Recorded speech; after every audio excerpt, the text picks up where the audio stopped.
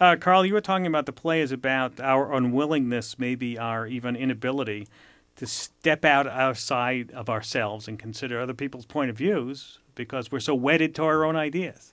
Do you find did you find that is that true in real life how scientists operate? well, of course I can't totally generalize, but I would say in the vast majority of cases that happens in your life and it's in many respects a wonderful experience.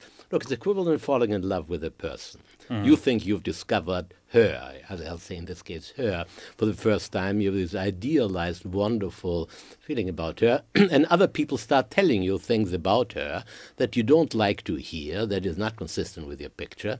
But for quite a while, sometimes forever, you refuse to listen to it. In other cases, of course, you do do that.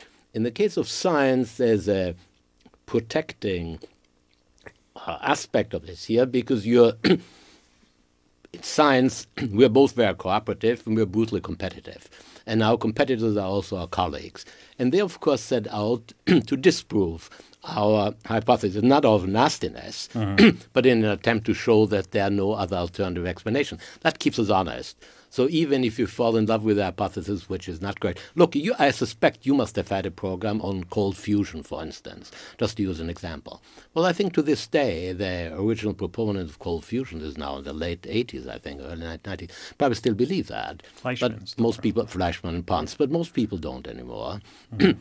and But I think that character is an important one because it also drives us to excel. It drives us to prove our point. Uh, it is associated with ambition and name recognition, which is very important uh, among scientists, and it is both the nourishment and the poison of our culture. Mm-hmm. Um, Simon Jones, how did you find the character of the scientist? And I say that because um, in the play, uh, you're, you're, you're described by uh, by uh, Lisa Harrow as being quote cocksure of yourself.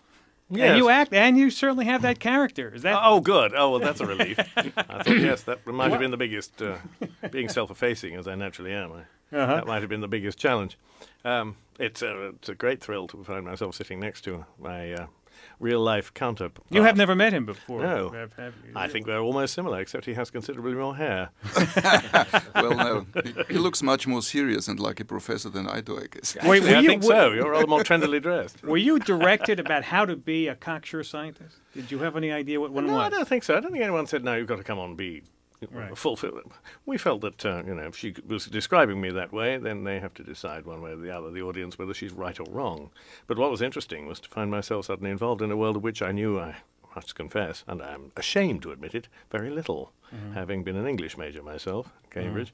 Mm-hmm. Um, so the world of chemistry has opened wide. Mm-hmm.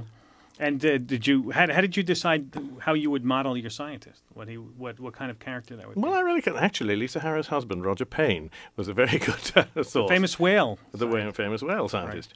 Right. Uh, that's from from him I learned that uh, one carries not in this case, I see, from Alfred.